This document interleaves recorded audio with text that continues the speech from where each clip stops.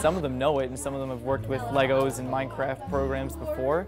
But if they can use their problem solving and critical thinking they take from these classes, it would definitely give them a leg up. Using two engines to make it work. That's cool. It's creative. Um, you get to express yourself more or less in it, and it's just fun. Yeah, definitely. I can help you. I really like Legos and building things and robots, so I guess it was the right thing for me. I'm gonna go grab you one from the spare parts box, okay? STEM is works really well if it's practiced well and you can intertwine all four together.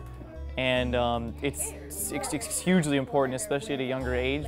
We need the motor to work. Here they're building Lego robots and programming them to do s- stuff that they wanted to do, like play around. It's gonna be two by six.